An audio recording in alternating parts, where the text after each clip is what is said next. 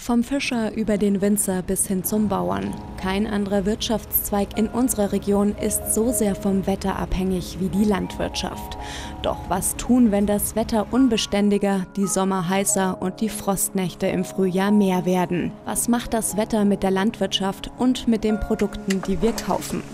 Damit beschäftigen wir uns in der Multimedia-Reportage Unsere Heimat im Wandel, wie das Klima den Südwesten verändert. Im Internet unter schwäbische.de Klima Südwest.